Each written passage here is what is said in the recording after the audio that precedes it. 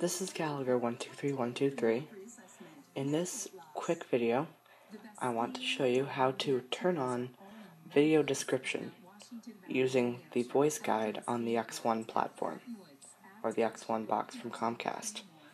Yesterday I did a quick video showing you how to turn on the voice guidance beta, because it is a beta feature, but you can still access it.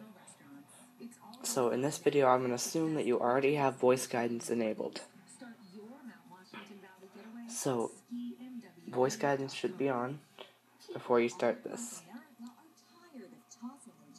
So what you do to get started, you want to, with the turn on video description, you want to locate the little rectangular button that's two rows up from the OK button in the center of the arrow pad. So when you press that button, Xfinity main menu, press right or left arrow to review, then press OK to select. Guide. So we're now in the main menu of the of the box. And you have to what we want to do is use the right arrow until we get to settings. Now I'll show you what's in this menu real quick while I'm doing this. So the first option is the guide, and I promise we'll look at these features more in depth. So there's guide, Save the saved option. on demand. So your save is where you'd find your DVR recordings. Of course, you have your on demand. Search. Search is not accessible, so that will not speak, so you cannot use that feature at the moment. But that they have plans to make that accessible. Apps. Same thing with apps. And finally, Settings. settings. Now we're going to go into settings. So press OK on the arrow pad. Settings press up or down arrow to review, then press OK to select. Preferences. General settings including background darkness levels, notifications and recommendations. Press OK to select.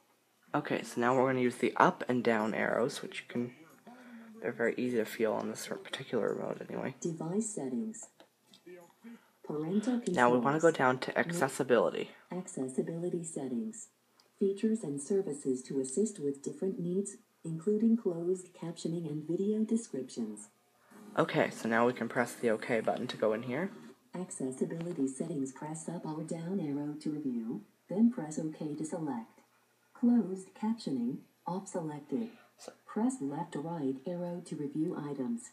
Press up or down arrow to review categories. Press OK to select. Now that particular message is not the most useful. So what you want to do to find the settings is to press up and down. Closed captioning option. And we're going Video description, To- off selected. to video description. Listen to audio descriptions of a program's key visual elements. Note, when video descriptions aren't available, you may hear Spanish or another language instead. So that's a good thing to note that you may hear a foreign language when you turn on video description. So to turn it on, you press OK. Video description, on selected. Listen to audio descriptions of a program's key visual elements. Note, when video descriptions aren't available, you may hear Spanish or another language instead.